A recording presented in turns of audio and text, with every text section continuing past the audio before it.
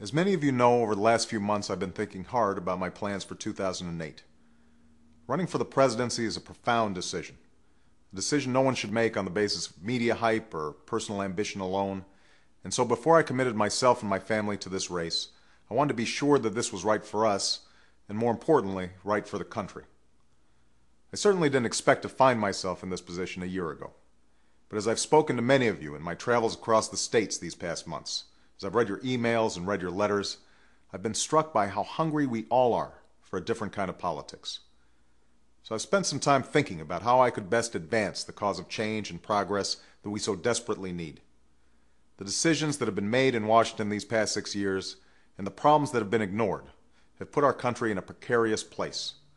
Our economy is changing rapidly, and that means profound changes for working people. Many of you have shared with me your stories about skyrocketing health care bills, the pensions you've lost, and your struggles to pay for college for your kids.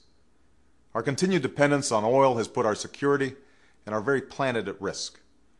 And we're still mired in a tragic and costly war that should never have been waged.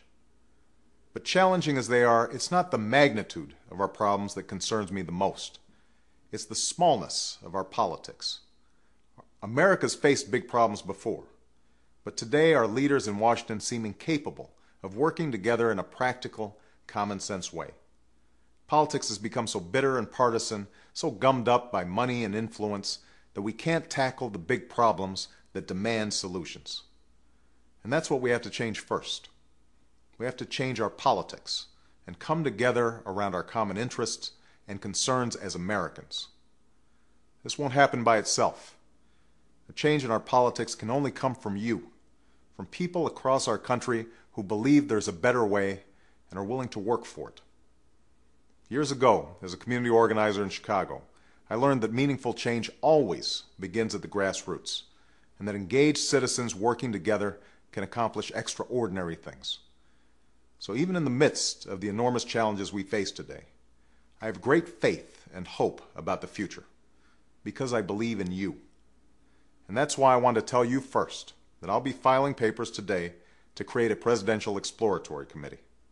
For the next several weeks, I'm going to talk with people from around the country, listening and learning more about the challenges we face as a nation, the opportunities that lie before us, and the role that a presidential campaign might play in bringing our country together.